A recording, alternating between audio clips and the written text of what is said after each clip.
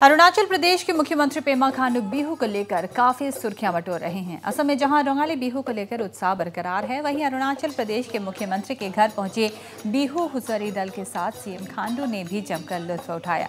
ढोल ताल पेपा की धुन पर सीएम खांडू ने जी भर कर बिहू नाचा। इतना ही नहीं, उन्होंने खुद ढोल बजाकर बिहू हुसरी दल में शामिल युवतियों को नचाया भी। आखिर में सीएम खांडू ने परंपरा अनुसार दल का आशीर्वाद लिया। वहीं सीएम खांडू ने असम, अरुणाचल प्रदेश के बीच जारी समन्वय के हमेशा बरकरार रहने की भी कामना की।